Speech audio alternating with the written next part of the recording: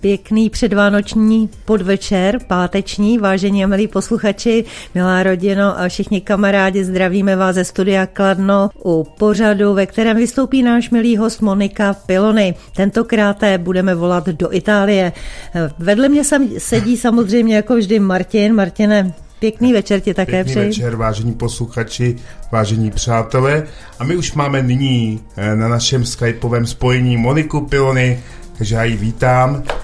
Moniko, slyšíme se, zdravíme Itálii, ale hlavně tebe. Ptáme se, co je nového v Itálii. Zda ta situace, která je podobná naší, je tam také, protože tady se stále uškrcuje víc a víc, stále je tady lockdown a lidé mají velká omezení. Jak to vypadá v Itálii? Eh, ano, eh, samozřejmě i zde eh, situace je podobná. Nejhorší to bylo v minulých týdnech vlastně v Ligúrii, potom to šlo přes Piemonte do Lombardie, tam jsme vlastně měli ty červené zóny, jak se říká. No a teď to jde samozřejmě dál směrem teda Veneto na Slovinsko, takže to jakoby postupuje eh, směrem jako eh, na východ, dá se říct. Eh, není to žádná sranda, opravdu je tady eh, ta bilance neslavná, i když eh, včera byl takový, dá se říct, taková menší naděj, kdy teda jako to jemně vlastně se snížilo, jak teda ty nemocní a i ty nemocní, kteří, kteří jsou nebo kteří byli na té na jipce, takže včerejšek takovej byl trošku lepší, dá se říct, no ale není to vůbec nic jako směrodatného samozřejmě, protože eh, co se týče eh, našeho guvernéra, eh, guvernéra Záji ve Venetu, kde žiju, tak ten je opravdu denodenně, dá se říct, ve svých výstupech stále Eh, velice, eh, dá se říct, skoro i naštvaný někdy, že jo, protože eh, když tady vyprávěl, nebo když jsme vůbec viděli jako i záběry, jak, jak nákupní střediska a obchody pukali ve švech, lidi, kteří tam chodili na procházky místo Eh, takže tam nechodili jenom ty, co potřebovali něco nakoupit, ale chodili tam vyloženě do těch, eh, do těch obchodních domů eh, procházet a nebo, nebo také na ty náměstí do centra, eh, kde prostě eh, byly, byly takový obrovský návaly, že to, že to bylo úplně nes, až neskutečný. To byly návaly, které se zřídka viděly eh, i v dobách, kdy teda Eh, vlastně eh, nic nehrozilo. Takže je to, je to opravdu, eh, dá se říct, dost napjaté, protože samozřejmě všichni se dneska upínají na ty vánoční svátky, mají strach, že nebudou moci být u vánočního stolu s rodinou a Eh, s hrůzou teda sledují, jaké, jaké budou další opatření. Eh, máme tady například opatření nový, že teda, aby se trošku jakoby rozřízly takový ty právě eh, ty hluk, hloučky nebo to zhlukování těch, který někam jakoby jezdí, jo, takže Eh, je to udělané tak, že teda kdo potřebuje si někde nakoupit jinde, než teda mimo obec, mimo město a tak dále, takže může dopoledne, ale od dvou hodin odpoledne prostě každý musí zůstávat ve svém městě. To samozřejmě neplatí eh, pro ty, kteří jedou do práce anebo kteří potřebují jít někam jinam k doktorovi. Mm-hmm. Máš nějaká čísla, Moniko? Co se týče čísel, tak jak jsem říkala, eh, včera eh, to bylo o něco menší, ale každopádně je tady, eh, jak oni říkají, vlastně nový případy, že jo, nově testovaný případy, těch je 17 572, což jako o tom jsme si říkali, jak to asi je, ale nicméně jsou tady, je tady dalších 680 obětí během 24 hodin a říkají teda, že pozitivita se šlo na číslo 8,8% a takže je tam o něco, o, je tam men, ten men, o něco menší, teda mm. jako je tam já jenom poznamenám, že tam je v podstatě, se tam dělají výtěry a oproti nám, kdy tady se mluví asi o 30 tisících, tak v Itálii je to za den 179, prakticky 180 tisíc výtěrů. A to číslo de facto je desetiprocentní, tedy tak jak já to vidím, tak 10% lidí, kteří jsou testovaní, tak vlastně je infikovaných, je pozitivních. Ano, přesně tak. Eh, proto jsem mluvila o tom, že víme přesně, jak to je, protože to záleží všechno ty čísla samozřejmě eh, na tomto. Jinak, abych řekla teda přesný číslo, eh, včera jsem to sledovala právě, takže ty čísla, které zajímají mě, je číslo teda těch, kteří leží na nemocničním lůžku a na, na té intenzivní terapii. A tam opravdu včera eh, na té intenzivce bylo 2855 osob v celé Itálii, což je teda o 71 méně než den předtím a, a těch, kteří jsou každopádně na lůžkách, teda mimo tu eh, jipku, tak těch je 29 282 mm-hmm. a zase to včera bylo o, mín, o 541 osob méně. No, takže eh, o, něco, o něco menší to je, nicméně eh, například, já nevím, v, v úterý si pamatuju, bylo to procento, teď jsem řekla 8,8, v úterý to procento bylo 9, přímo 9%. No, eh, samozřejmě jsem se zajímala tak jako vždycky, a zavolala jsem, zatelefonovala jsem eh, zdravotní sestře, která, kterou znám velice dobře, je tady eh, od nás, tady kde bydlím, tak eh, my tady máme nemocnici, ultramoderní nemocnici, naprosto nejlépe snad vybavenou vůbec. A mm, ta je teda určená pro covidové pacienty, takže jsem eh, telefonovala zdravotní sestře, která tam eh, pracuje, se kterou se dobře známe a tam mi potvrdila, že teda opravdu, co se týče teda těch eh, pacientů s covidem, takže nemocnice je plná a bohužel teda tam lidé umírají a umírají tam i mladí. Takže toto je informace, kterou mi mohla dát samozřejmě ano. naprosto stoprocentně věřím, znám ji velice dobře, je to osoba, která by si nedovolila říct něco, co není pravda, takže toto je realita. Hm.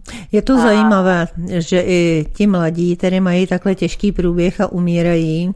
Jestli to svědčí o tom, že ta eh, generace mladší má horší imunitu, než by se čekalo? Ne, nevím, eh, co to může způsobovat. Eh, každopádně Eh, přesně my nikdy nevíme, ta naše imunita eh, na čemu v tu chvíli možná čelí, že jo? protože eh, já jsem dostala právě zprávu, že jo, to bylo minulý týden právě od, od ředitele policejního syndikátu, že teda zemřel kolega 41 letý, že jo, a ten byl naprosto zdravý, jak jsme říkali, on opravdu jako byl v jednotce, kde jsou stále testy a všechno, ale Eh, může se mu samozřejmě nasvědčovat spousta věcí. Eh, někdo říká, že třeba zrovna v tu chvíli, já nevím, stres, že jo, taky eh, starosti, stres, fyzická námaha v tu chvíli vlastně padne ta imunita dolů, než se to zase vyhrabe, takže Eh, může to být v těch, těchto těch třeba momentech, eh, kdo ví. Mm-hmm. Moniko, také se u vás mluví o tom, že vakcinace je východisko z této situace. Ano, samozřejmě jsou zde lékaři, kteří v televizi teda opravdu najeli na, dá se říct, vyloženě kampaň pro vakcinaci ano. A samozřejmě lékaři, kteří, kteří vysvětlují e, různá nebezpečí a a, a kteří do, tu vakcinaci nedoporučí. Mám tady vyloženě příklad, to jsem si připravila právě od jednoho lékaře, který je teda vyloženě proti vakcinaci. Ano. A tady jsem se podívala na ten jeho, na jedno video, kde teda speciálně mluví o tom skladování vlastně Eh, té vakcíny Pfizer eh, při teplotě minus 80 stupňů. A právě toto ho docela jakoby zarazilo, protože to není lékař, jakoby, eh, který by pracoval někde jako, nevím, prostě jenom jakoby praktický lékař, ale je to přímo, pracuje v laboratoři, je to přímo člověk, který Eh, se eh, zajímá právě a zkoumá a je to jeho práce přímo v těch laboratořích, eh, ano. jeho mm-hmm. takže on, já to tady, já jsem si to připravila přímo ten jeho uh, takový překlad, uh, protože abych se nespletla v něčem. Takže on řekl, uh, jmenuje se teda doktor Stefano Montanari, a, a řekl, to je jeho verze samozřejmě, že je evidentní, že distribuce při teplotě minus 80 stupňů je proveditelná pouze na velmi malé množství, malé vzorky něčeho. Eh, a tam dodává, že to ví z vlastní zkušenosti, tedy je to velmi, velmi obtížné. Milionů čistovkách, eh, milionů produktů, které se musí dostat eh, všude. Tady jsme eh, mluví opravdu, jakoby to je fraška podle něho a říká, že to prostě není možné, že je to něco opravdu materiálně nemožné dokonce. Takže to, co dorazí, tam se jakoby v tom videu jakoby zarazí gesta, takže jako to nebude zase, že jo. Ale pravděpodobně pak dodal samozřejmě, ale to se z nich zřejmě stali najednou eh, velmi dobří odborníci, ale on tvrdí, že nějaké pochybnosti má, takže to je taková prostě věta, když si nedovolil prostě něco by jakoby e, říct přesně k tomu ještě víc, protože ví, že samozřejmě bude chycen e, za slovo. No, ano. nicméně podle jeho názoru těch minus 80 stupňů je naprosto nemožný, co se týče vlastně distribuce jako takový, jo, bezpečná distribuce a převozy a, a tak dále za teploty a uchovávání těch minus 80 stupňů. Takže eh, pak se tam, eh, pak se tam eh, zmínil o bezpečnosti a tam právě vysvětloval takovým, takovým docela jednoduchým způsobem, že z určitého hlediska je to zajímavá vakcína, protože se jedná o vakcínu vyrobenou z e, RNA. E, z RNA to znamená e, kyselina ribonukleová, která je poslem informací o DNA. V zásadě existuje druh šablony, stampino tomu říkají, eh, která přenáší informace o DNA eh, do jiné buňky na jiný receptor. Eh, v tomto okamžiku, co udělají ti, kteří vlastně tu vakcínu mají, že jo? Co, co, co se s tímhle, co s tím udělají ti, kteří s tím pracují. Uvnitř RNA eh, je totiž virus, části viru, protože tvrdí, že samozřejmě ten virus si nemáme, jo, je oddělený. Takže eh, když se už musí na, pracovat na tom RNA viru, který se mění každý týden, tak je to něco nemyslitelného podle doktora Montanáriho, protože je jasné, že eh, ten, eh, ten virus samozřejmě eh, běží mnohem rychleji, než teda oni, ti lékaři v tom výzkumu. A tam dodal ještě mimochodem, jo, a to je, a to je věc, kterou jsem já už víc, vícekrát opakovala, protože tuto informaci jsem už dostala od více odborníků v březnu, že eh, co se týče AIDS například, AIDS známe již více než 40 let, je to mutující virus a neexistuje žádná vakcína, prostě není. Známe ho více než 40 let. Takže co vlastně? No, je tady je vlastně RNA, do které vkládáme určité věci. Tato RNA, tedy šablona, nese informace, ale nese v sobě miliardy, miliard informací, které nemáme pod kontrolou. Nemáme nad ní žádnou kontrolu. Takže e, bude zasahovat právě e, do této šablony, kterou oni vlastně tento stampínek, no, tam vtisknou ty informaci do té DNA a nebudou e, mít nad tím žádnou kontrolu. Ten, kdo dostane injekci nebo taky to budou řešit asi zřejmě náplastí, což je velmi vychytralé. Ano je. Eh, tam prostě tvrdí, že, že on tvrdí, doktor uh, Stefano Montanari tvrdí, že bude uh, nějakým způsobem změněn.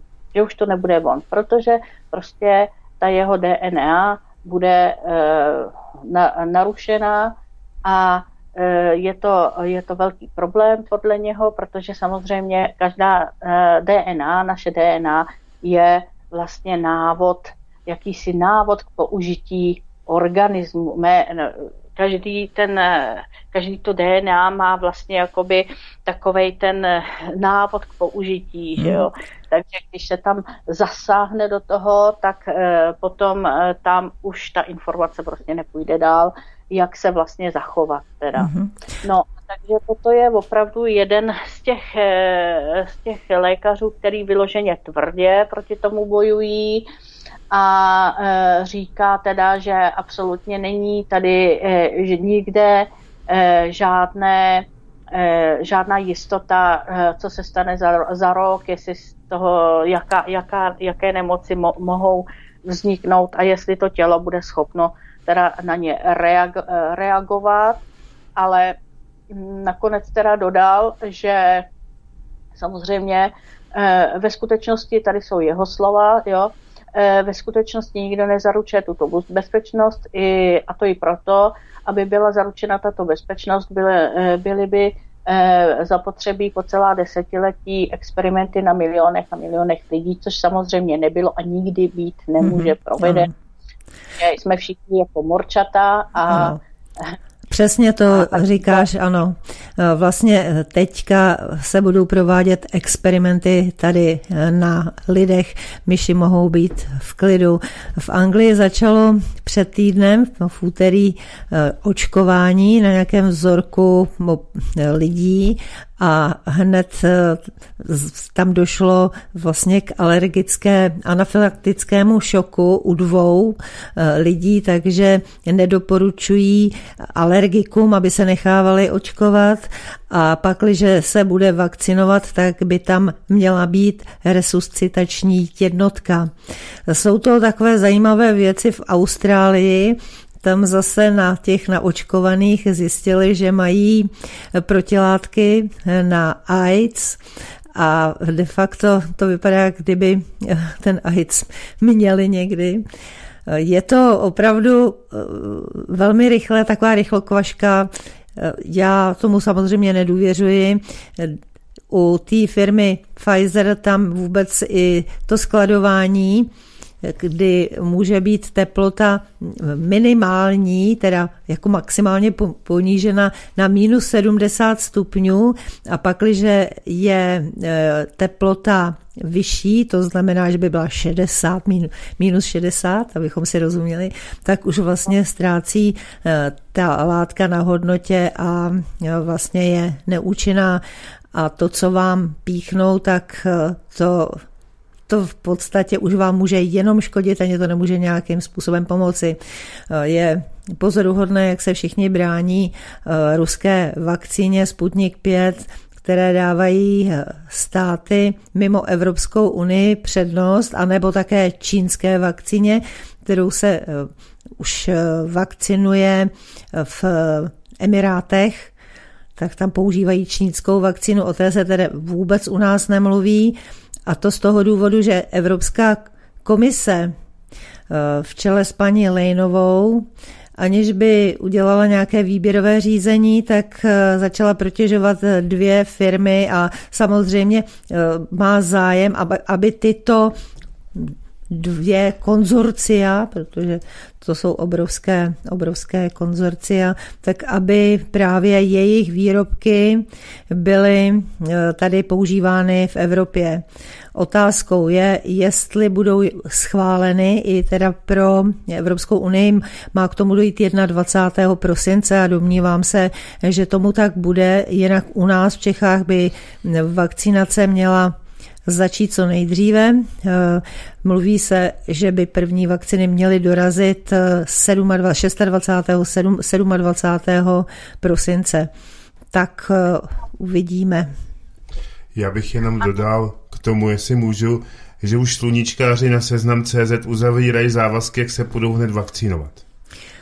Takže... Ano, taky. Itálii taky 27. Eh, to jsem chtěla říct, ano, je to, eh, vyšlo to vyloženě dneska eh, v novinách a je tam právě jistota teda, nebo píšou tam, že by to mělo opustit sklady 24.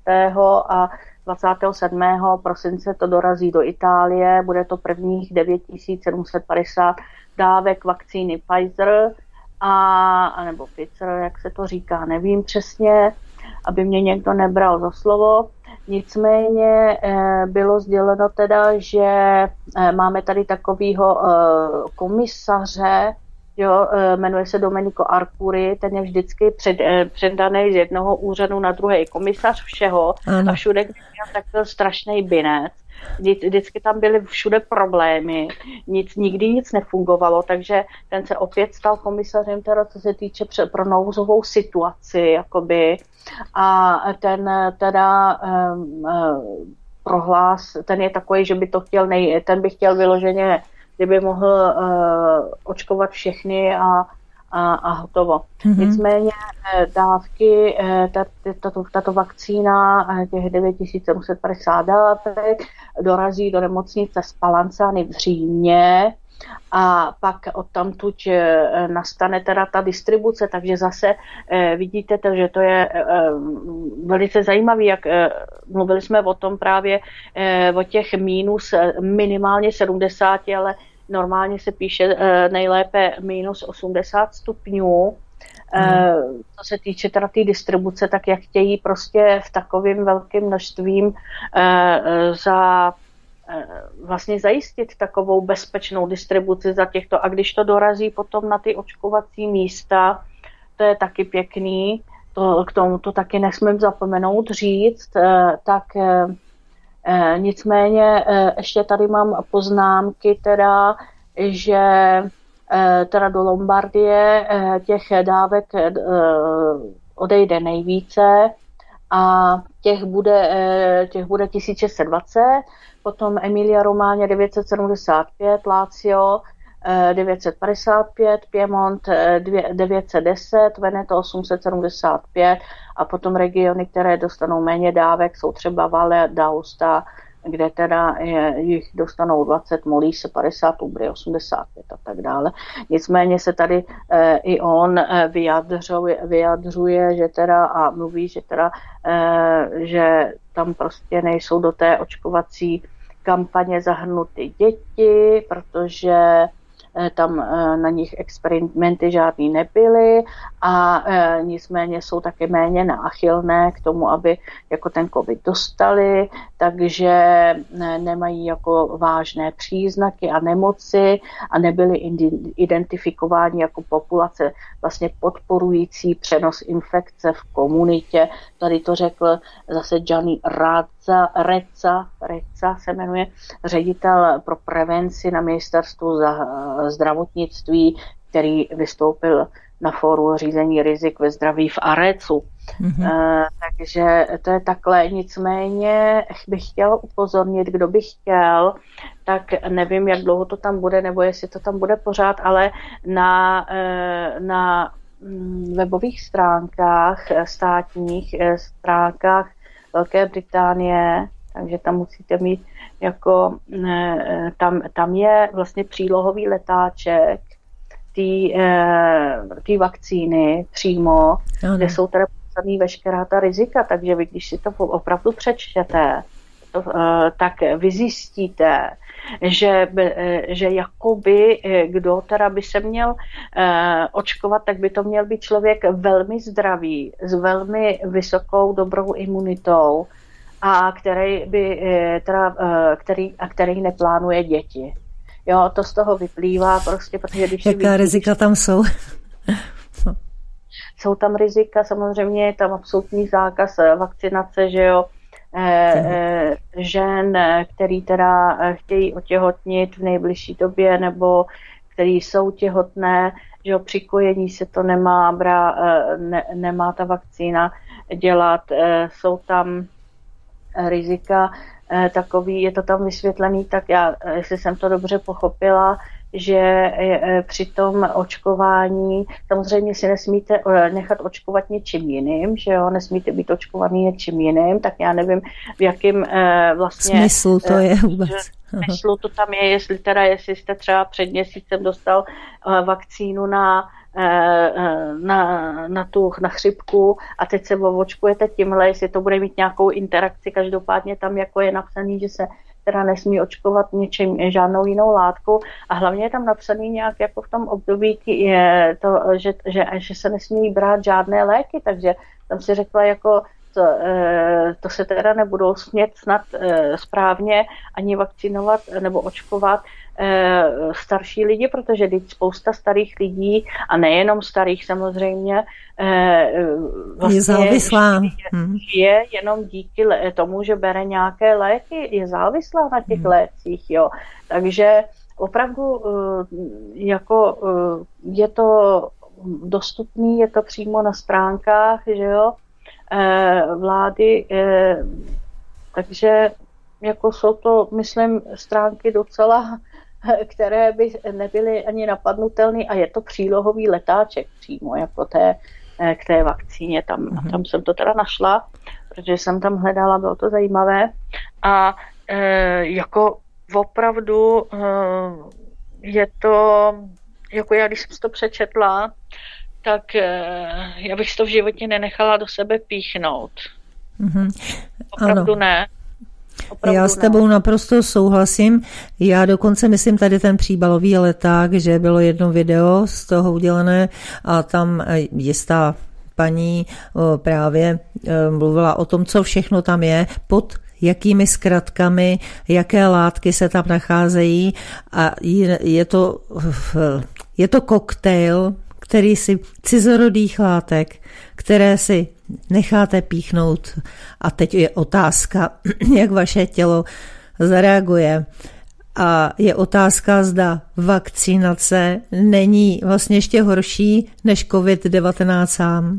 Já bych jenom tady řekl k tomu, že je to takové vhodné pro naše sluníčkáře. Ty žádné děti nechtějí, většinou jsou zdraví a žijí takovým tím způsobem, že po nás potopa a individualismus, takže ti si to nechají píchnout.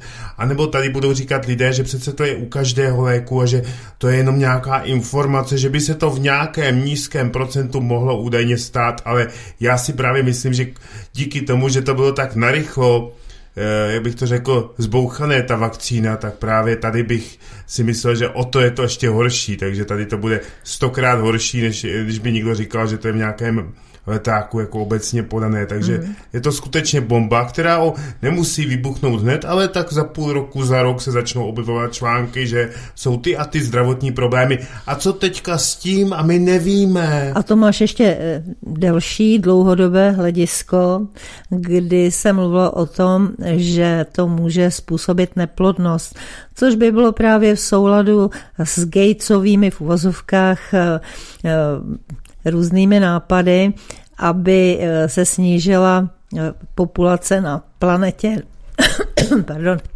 na zlatou miliardu.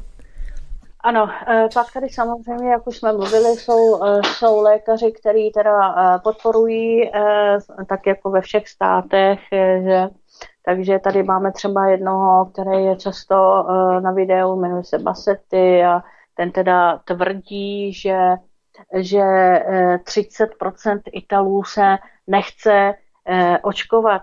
Nevím, kde vzal to číslo, protože jako bych to viděla terco, jako, jo, že protože si myslím, že možná jestli těch 30% Italů se chce očkovat spíš jako jo, tak už tak je to hodně velký číslo, protože podle toho, co, eh, co slýchám a co čtu a co mi všichni říkají, tak opravdu těch lidí, kteří se chtějí očkovat, je velmi málo a opravdu eh, zase eh, je to sorta lidí, která se spíše přirovnává právě k tom proudům, jako, ty, jako jste se zmínili vy, těm sluníčkovým, těmhle těm eh, prostě lidem, který eh, žijí, tak jak říkal Martin.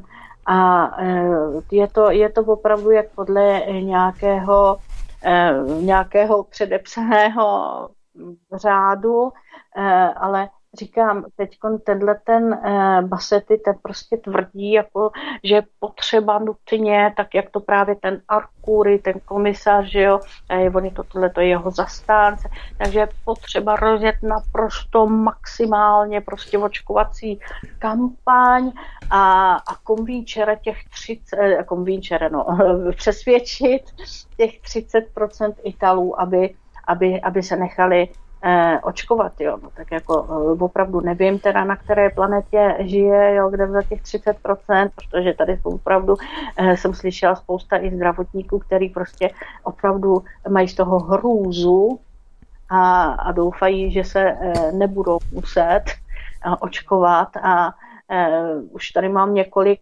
právě i lidí uh, ze zdravotnického personálu, kteří mi řekli, že i když je to tak strašně těžká doba a pravděpodobně práci nenajdou, takže uh, si cení svého života a bojí se toho tak, že by byli schopni jakoby o, i odejít prostě z té práce.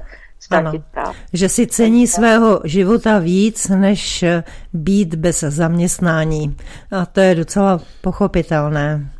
Ano, takže říkám, eh, jsou tady pro, jsou tady proti, eh, co já znám lidi, většina jich je samozřejmě proti očkování, je tady pár lidí, kteří vyloženě eh, jsou takový laxní, že oni nechodí volit, oni, ono se jich nic netýká, že jo, no tak jako, když budeme, a to jsou takový ty lidi, co jako je zajímá prostě, že jo, jezdit na dovolený do ciziny a tak dále, takže no to kdyby nás mhm. nechtěli pustit, no tak bychom si to teda píchli, tak to snad jako e, dobře dopadne, no hlavně, aby jsme mohli jet, jako mhm. jo, takže to opravdu. Moniko, to jsou ty lidi, co chodí do těch obchodních center si nakupovat, jako kdyby vůbec o nic nešlo a těch lidí je docela dost a dneska no, u nás Blatný prohlásil, že tedy 40 lidí, 40% lidí je rozhodnutých nechat se očkovat, 20% je nerozhodnutých a já říkám, a 40% dalších je rozhodnutých,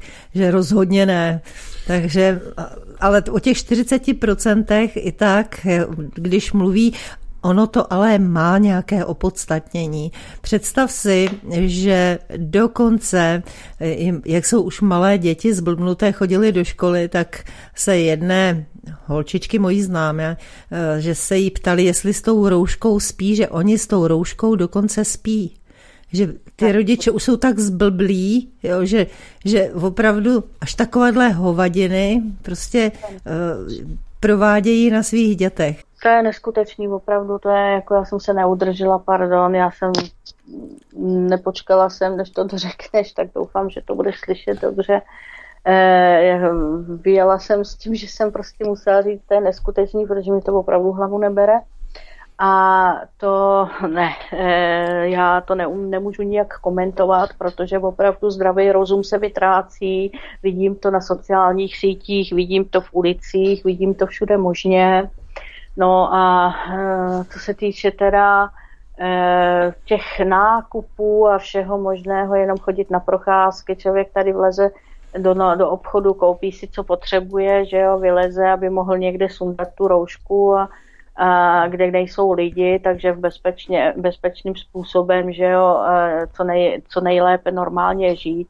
Ano. No, eh, tady v Itálii máme Vatikán, že, takže i eh, ten Vatikán nějakým způsobem vlastně řídí e, mínění a, a myšlenky trošičku, sice dneska už čím dál tím méně, díky tomu, že tam teda nastoupil ten pán, který tam je, tak tam bylo taky v tomto týdně, v tomto týdnu měl e, papež proslov, Bergoglio měl proslov a, a řekl e, mimo jiné, e, měl katechezi po souhrnech, jo, různých, tak co mě tam jakoby náhodou, náhodou jsem se to ke mně dostal, náhodou jsem něco přepínala, takže jsem to, takže, takže jsem si to poslechla. Eh, tak eh, tam mluvil vlastně o tom, eh, jak, že by teda vybídl, že by chtěl vybídnout všichni lidi, aby, aby, aby se jako mm,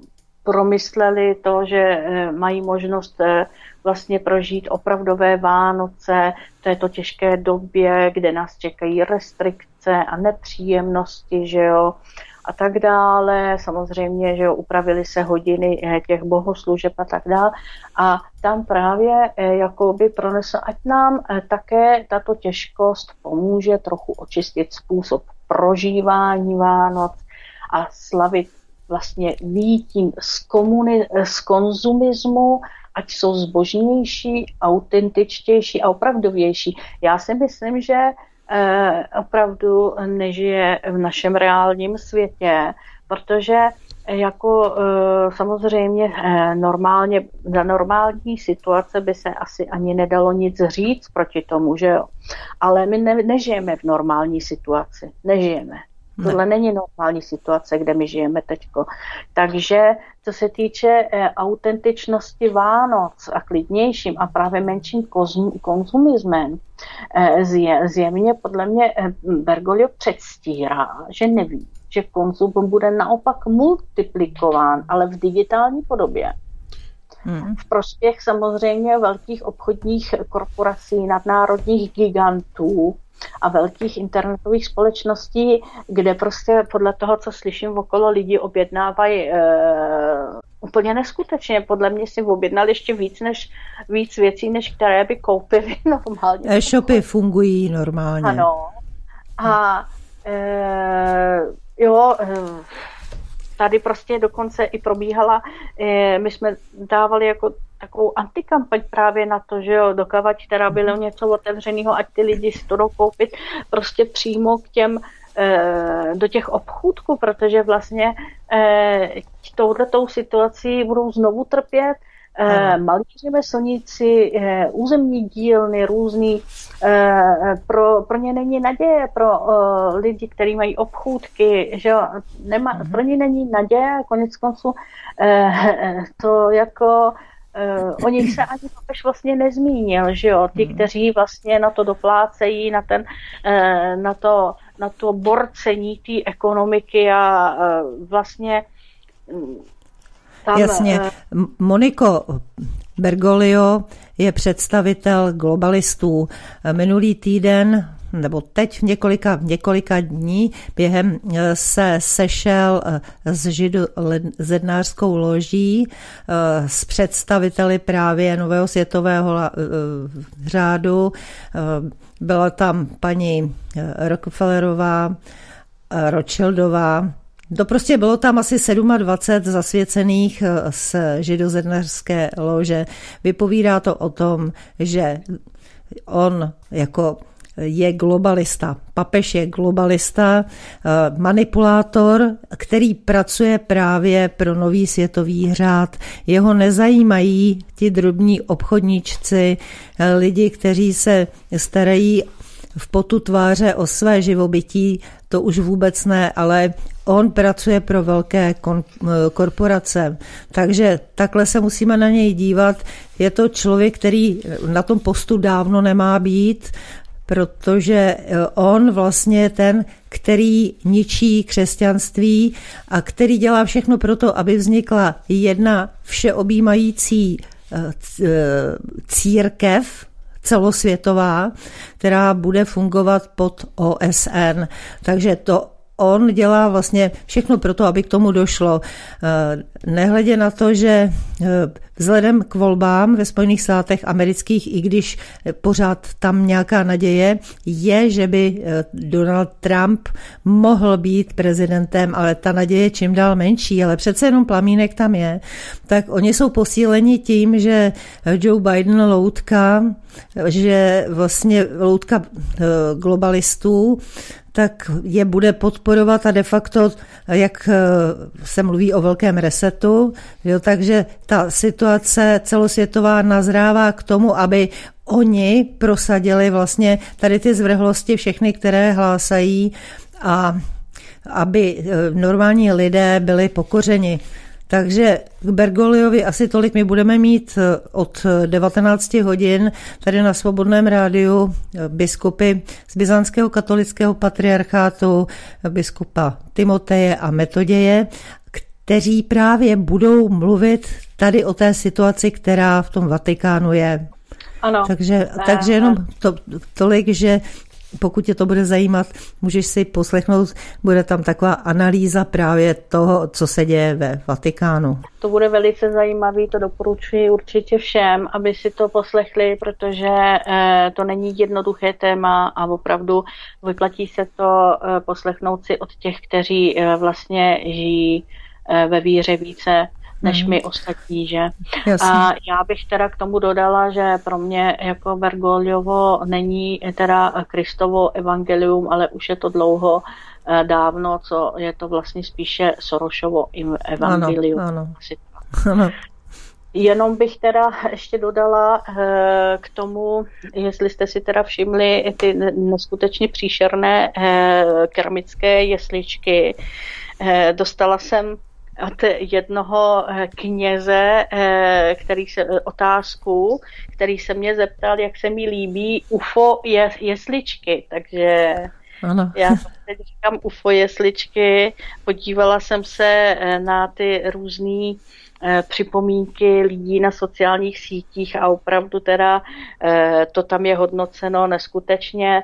Eh, například tam mnoho lidí říká, že teď by ještě k tomu chtěli jako hudbu vlastně z televizních hororů Daria Dargenta, že jo, třeba temně červená, jo, tam je taková, jo, a že by to bylo autentický. Každopádně v lidech to v lidech to vy, vyvolává. Vy, vyvolává pocit, pocit jakoby takové spíš nejistoty, eh, docela jako husí kůže fakt, mm-hmm. co jsem se ptala lidí na schvál, zase honem, jako bych toho měla ještě něco eh, které, od lidí, který znám, tak všichni, kteří to vidí, teda, tak to vidí jako věc, která je nemístná tímto způsobem a speciálně v této době, protože ti, kteří jsou opravdu velmi věřící, tak eh, ty eh, pro ně eh, ty jesličky je, jsou znamením, že? A toto, kde tam prostě je taková příšera z hvězdních válek, jo, a, a dalších, nebo aspoň tak vypadá no, teda, vypadá. jak mm-hmm. říkám, UFO, UFO jesličky vyvolává prostě pocit, jestli to není znamení, že Bůh ví, co ještě jako vyleze na povrch, jo. My, místo toho, aby tam bylo, bylo nějaký eh, to pěkný konejšivý znamení, eh, kde teda se narodí děťátko, že jo, zvířátka, prostě teplo domova, láska, rodičovství a tak dále, jo. Eh, ale toto opravdu nevyvolává absolutně tu pohodu, eh, to, tu semknutost vlastně tě, a důležitost té rodiny, to absolutně ne, mm-hmm. neukazuje. Takže ještě k tomuhle jsem Určitě, tak ta rodina má být co nejvíce potlačovaná. Eh, vždyť je to i v rámci depopulace, aby lidi ne, nezakládali rodiny, aby neměli děti, aby je nemohli mít i v současné době, když se podíváme na ty vakcíny. To všechno vlastně eh, je v jednom, to, to všechno se dohromady vaří a e, samozřejmě, že je o symbolech právě všechno a ty symboly satanismu, ty si de facto popsala teď v tom Betlému, jak to vypadá. Takže ano, ten satanismus je ve Vatikánu a je prolezlý právě těmi preláty eh, z Vatikánu a ve, v katolické církvi, kteří už dávno opustili Ježíše Krista a Boha, ale jde jim jenom o jejich eh, teplé místečko, které jim vyhovuje oni si na to zvykli a proč by měli něco měnit, takže to je prostě jenom to pohodlí, ten egoismus eh, lidský, který eh, právě je takhle využívaný. Ano, eh, je to tak. Já bych teď chtěla se vyjádřit trošku zase, co se týče ligy, co se týče Marka Salviniho, máme ještě chvilku času. Jasně. Tak jelikož se mě pořád lidi ptají, protože ne všichni samozřejmě se dostanou k článku, který se jednou napíše nebo se jednou někde, někde vydá, takže eh, co se teda stalo vlastně v tu sobotu toho 12. kdy teda eh, probíhal další soud v Katánii, Měl, toho 12. měl probíhat také e, soud e, právě s tou jinou lodí v Palermu ale jelikož to padlo na ten jeden den, takže to bylo odročeno a, a pokračovalo to teda v té, v té Katánii a byl tam slyšet, slyšen bývalý ministr ministr dopravy Toninelli, Danilo Toninelli a, a bývalá ministrině obrany. Premiér Conte, ten měl možnost tam teda nejet a Eh, protože zaneprázdněn a tak dále, jelikož měl být také slyšen, takže se soud z Katánie přestěhuje za, za kontem 28. ledna do paláce Kiji na sídlo vlády, kde teda bude vyslýchat nebo slyšen teda eh, premiér Conte a pak uvidíme teda, co bude dál. Zatím teda probíhají eh, slyšení takže jako, e, abych teda k tomu ještě něco řekla, e, byla to opravdu taky obrovská fraška, protože e, bývalý ministr, ministr dopravy Toninelli si nepamatoval absolutně nic. On prostě o ničem nevěděl. To je jako ten vtip na Sicílii, že Katán je taky na Sicílii, když se někoho tam na něco zeptáte, tak řekl, že tam, že nic neví, že tam nebyl a že nic neslyšel a jestli je tam byl, tak spál. Jo, takže... to by si mohl rozumět s Karlem Schwarzenbergem takhle. takže, takže Toninelli prostě vůbec jakoby eh, na všechno odpovídal, že nic. A dokonce, když mu eh, byl předložen dokument, eh, který podepsal osobně, tak i tam jako řekl, že si na nic nepamatuje. Jo? Mm vyloženě před evidencí jako takovou, před důkazy, on si prostě nepamatuje nic. On, eh, takže tam jsem se docela i zasmála, jak to komentoval eh, Matteo Salvini, protože Eh, tento, tento eh, eh, řekl, že doufá, že si Toninelli pamatuje alespoň adresou svého bydliště, aby se mohl alespoň vrátit domů. to je dobrý. Hele, kdyby znal Plzáka, tak by věděl, že on doporučoval v určitých situacích zatloukat, zatloukat, zatloukat. tak to je docela legrační. Mhm. Jo, takže opravdu eh, toto je teda další vývoj eh, takto velmi sledovaného soudu. A potom eh, bych chtěla ještě říct, tento týden Lega byla nucená prakticky, jak bych to řekla, na půl, obsadit lavice vlády v sále Senátu. Senátoři ligy teda obsadili. Mm na protest proti hlasování o důvěře, eh, které vláda dala vyhlášce o bezpečnosti, že jo, to jsou ty dekrety, ano. ještě před zahájením diskuze o ustanovení, jo, takže oni prostě eh, nechtěli ani jakoby povolit vlastně o tom ještě dál tu diskuzi a a prostě už chtěli rovnou hlasovat o tom, jako že se to přijme, to úplně eh, natvrdo, jo, že se teda Eh, prostě potvrdí teda, dá se tam ta důvěra tomu vlastně, jak, my, jak já říkám, anebo jak my v Lize říkáme, dekreto clandestíny, to znamená bezpečnostní, eh, vlastně dekrety pro migranty, pro nelegální migranty, dekret pro, vyhláška pro nelegální migranty, jo, kde oni budou mít eh, spousta výhod úplně neskutečných. Dneska teda jsem sledovala chvilku, a eh, ohledně toto, toho měl výbornou řeč eh, senátor Tony Ivoby o, právě o absolutních změnách eh, vyhlášek o bezpečnosti. A, a ten řekl, že levice chce eh, přeměnit Středomoří na hlavní imigrační kanál eh, pro naši zemi, tedy jako pro Itálii, a zvýšit počet úmrtí na moři. Vytvořit nejistotu, iluzi a sociální nestabilitu bez respektu k těm migrantům samotným. Jo? Takže to je velice důležitá věta, protože ta obsahuje přímo vlastně realitu, která se děje. Oni ti, kteří to organizují, kteří organizují tyto, eh, tuto nespoutanou eh, nelegální eh, imigraci, jim nejde vůbec o ty lidi. Určitě jim ne. Na nich absolutně nezáleží.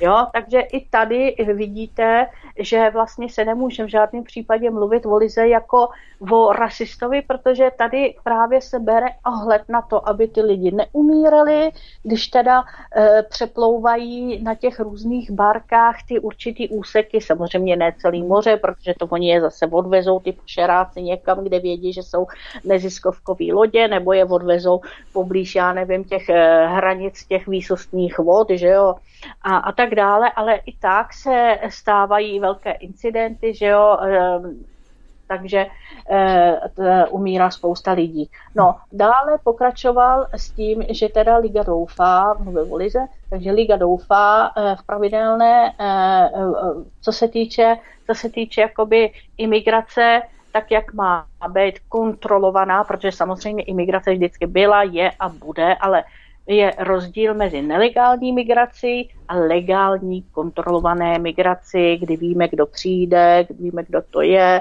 a víme, kam jde a, a jde tam, kde prostě třeba bude ta práce a víme, že teda tím pádem nebude že páchat eh, pravděpodobně kriminální skutky, protože eh, ta nelegální migrace samozřejmě toto všechno přináší. Takže eh, skončil eh, touto větou eh, ve svém dalším jakoby Eh, proslovu, ale tato je také důležitá. Liga doufá v pravidelné a řízené přistěhovalectví jako takové založené na práci, ano, uh-huh. to znamená přímo, že už pojedou rovnou, když už si někdo zařídí teda tu práci a má jí, takže na práci, která přinese naší zemi, to znamená Itálii, prosperitu. Jo? Uh-huh. Takže tohle to bylo taky velice důležitý a hlavně Tony Ivoby, ještě teda řeknu, se narodil v Nigérii, je to člověk, který studoval v Itálii druhou univerzitu informatiky a který, kdyby nepoznal eh, v té době eh, svou dnes, dnes ženu, tak by se, eh, jak on sám mi osobně říkal, protože jsme přátelé velice dobří, tak on by se normálně vrátil do své země v kapse s druhou teda univerzitou a ani náhodou ho nenapadlo, jako že by nelegálně měl někde zůstávat. Tento člověk je větší Ital než spousta Italů. Mm-hmm. Víš co, ono je to samozřejmě eh, o lidech, kteří také zůstanou v eh, Africe. Když jsi mluvila o tom, že vlastně se poradá těmi lidmi, kteří, to je obchod s lidmi, obchod s lidským masem a vydělávají se na tom velké peníze, tak samozřejmě, že o lidi jim nejde. A navíc, co to znamená pro ty země v Africe? Vždyť tady lidé museli Evropu budovat a právě v těch zemích, odkud odcházejí tady ti migranti, zůstávají jenom děti, ženy a staří lidé. A to na vybudování prosperujícího státu rozhodně nestačí. Rozhodně ta, ta generace tady těch mladých tam bude chybět na to, aby něco si vybudovali. Oni jdou za snadným, že jo, tady prostě všechno dostanou a vůbec jim nejde o tu jejich zemi, která vlastně tam strádá. A řeklo to i několik politiků z těch různých států, že vlastně ten odliv těch mladých lidí v nejlepším věku, tak že tam bude chybět. Takže i o to jde, že vlastně ty státy jsou tím uvrženy do určité chudoby a e, do takového status quo, kdy e, tam vlastně ty korporace můžou drancovat a nikdo není, kdo by se jim postavil. Takže i takhle, jako ty státy tím prostě trpí. E, přesně tak. Je, je právě problém ten, že oni sami mnozí takhle, když se budeme povídat o Tunisanech, který jsou dnešní vlastně největší skupinou vlastně mezi těma nelegálníma migrantama, který, který, sem, který sem jedou, tak tam po několika amnestích víme naprosto hmm. přesně, že to jsou většinou prostě bývalí eh, zločinci. kriminálníci, hmm. zločinci. No, To samozřejmě eh, čítá i eh, mnoho dalších i z jiných států, protože když vám někdo přijde bez dokladů, a s, s popálenýma konečkama prstů, aby se nedali sejmout otisky, no tak člověk musí na 120% vědět, že se jedná o někoho, kdo chce skrýt svoji identitu. Rozhodně. Že? Takže, eh, takže to, tam je tento problém a opravdu těch slušných lidí, který, který by chtěli pracovat, jsou hozeny do jednoho pytle, ale v těch masivních těchto těch vlastně migracích tam je to o něčem jiným.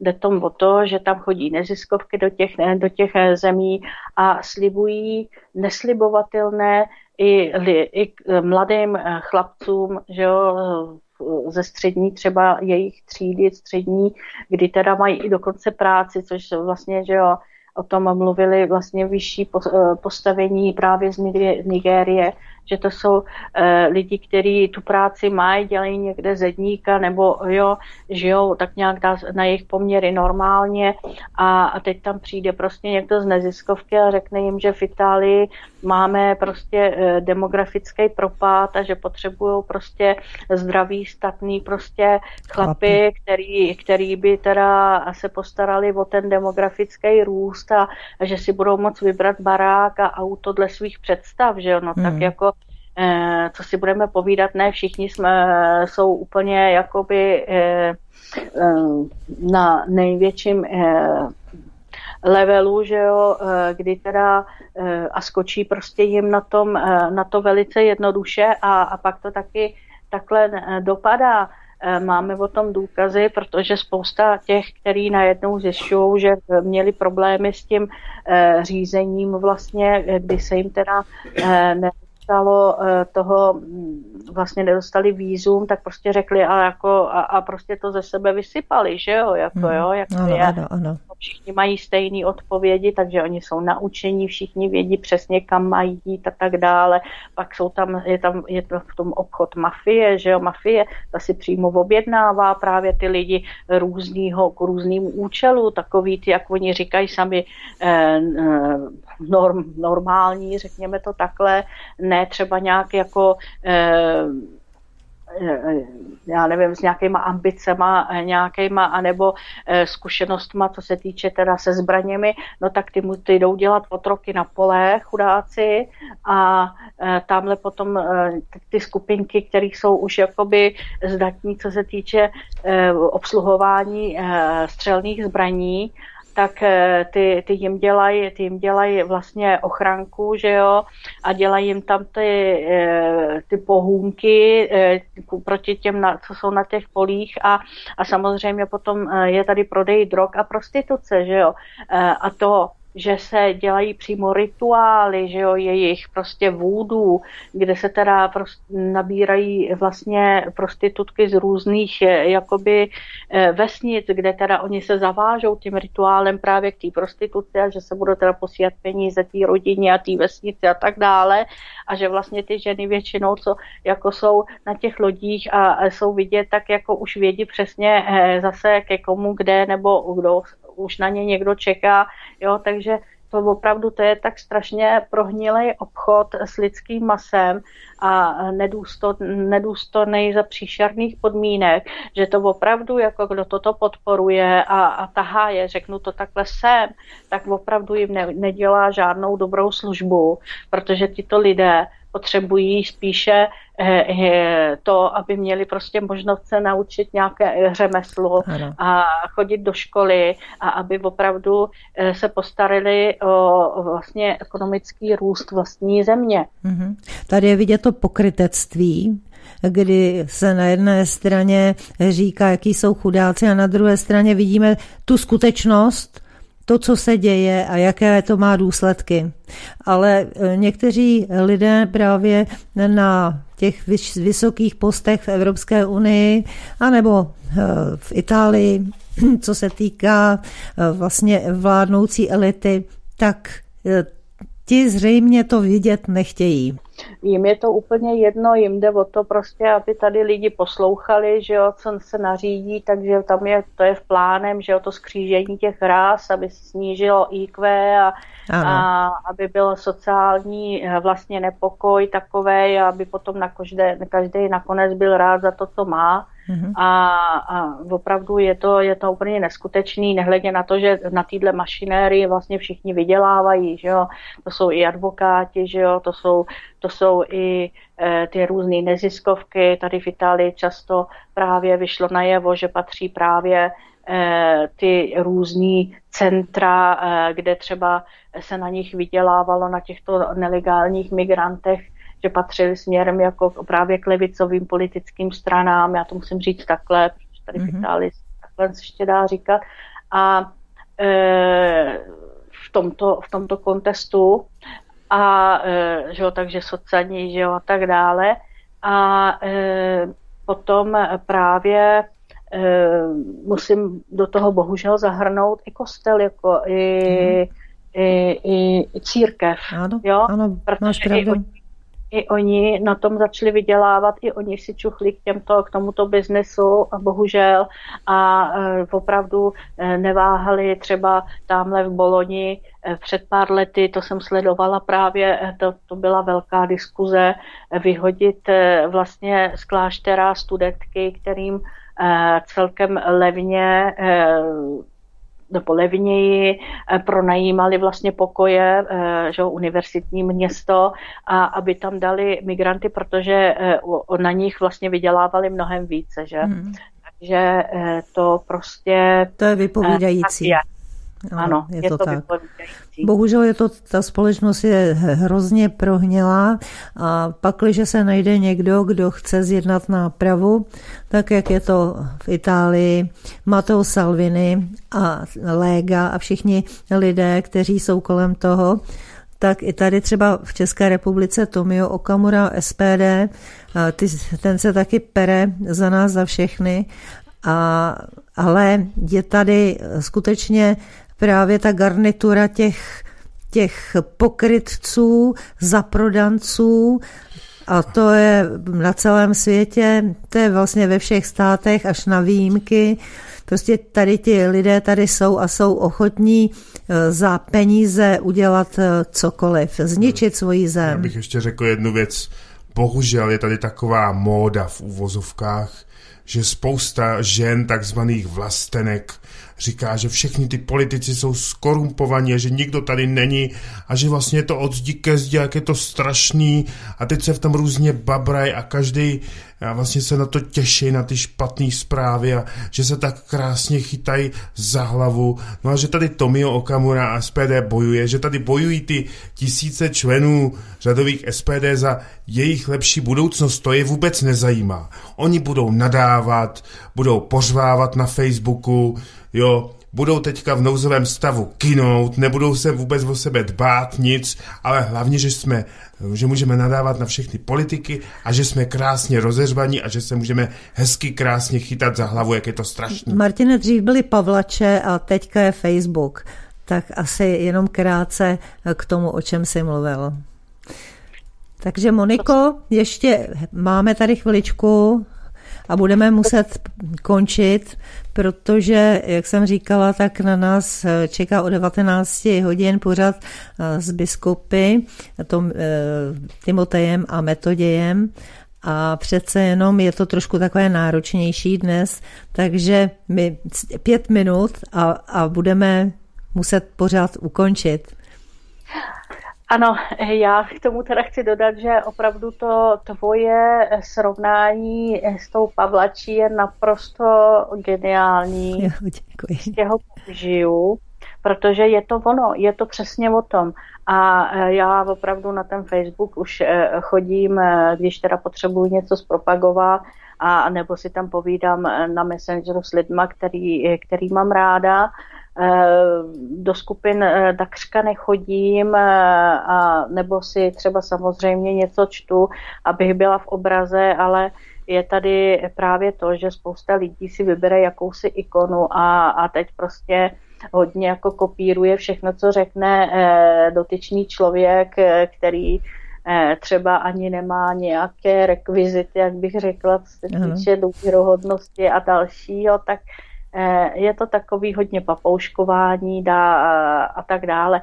Nicméně nechci se k tomu dál vyjadřovat, protože, jak už jsem tady řekla, Eh, v této době opravdu eh, lidi jsou dost nenávistní a to se mi nelíbí, takový to eh, různý škatulkování a tak dále a ten zdravý rozum, byla bych ráda, kdyby začal zase trošku víc fungovat, aby se člověk trošku zamyslel víc do budoucna, co jakákoliv akce přinese. Jo. Mm-hmm. E, protože eh, ono jako impulzivní jednání dnes teď honem zařvat, udělat e, něco, jo, ale co to potom přinese ano, do budoucna, ano. jaké jsou rizika a jaké jsou pozitiva Následky. a, a hmm. potom, potom jednat, takže e, jako chtěla by jsem, aby opravdu ty lidi trošičku se měli opravdu víc rádi sami sebe, hmm. protože když má rád člověk sám sebe,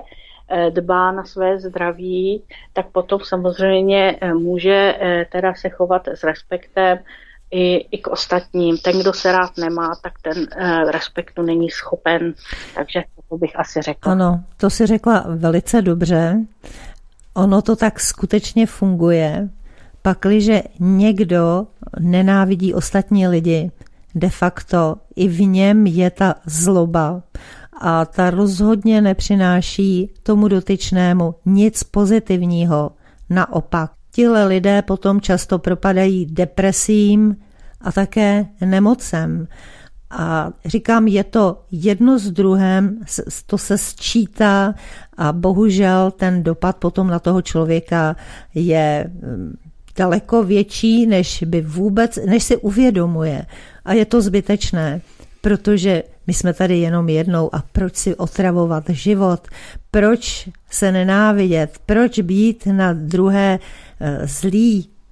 Začněme každý u sebe, vašme si sám sebe, svého zdraví, svých přátel, své rodiny a já si myslím, že se to ponese potom už i dál, protože to pozitivní se dobře přenáší na ostatní lidi. Takže to je ode mě všechno. Moniko, jestli ještě chceš něco našim posluchačům říct a my budeme pomalinku končit, veď Martine?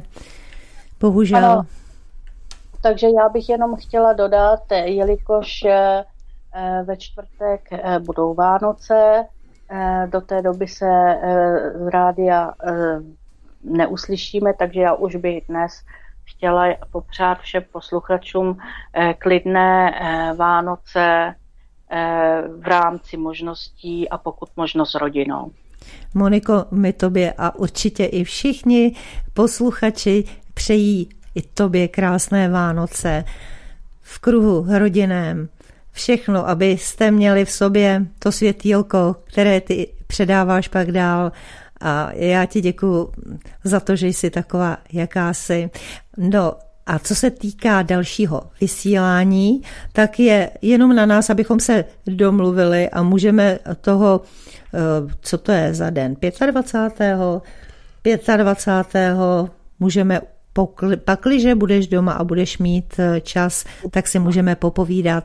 Určitě. Dobře. Budu doma, eh, zůstaneme doma, nikam nebudeme chodit, takže dobré jídlo, pohádky, pokud možno klid a 25. jsem se připravená. Uslyšíme. Dobře, takže já ti děkuji za dnešní čas, který si věnovala rádiu a našim posluchačům a těším se na tebe. My si stejně ještě budeme povídat ale už mimo právě relaci. Takže vážení milí posluchači, od nás je to všechno. Já předávám tady Martinovi slovo a techniku a v 19.00 se uslyšíme ze studia Beta. Takže hezký, hezký podvečer, vážní přátelé. A nesmíme sejít z cesty, jak tady zpívá Tomáš Ortel, takže to je od nás tak všechno. Ano, naslyšenou. Naslyšenou. naslyšenou.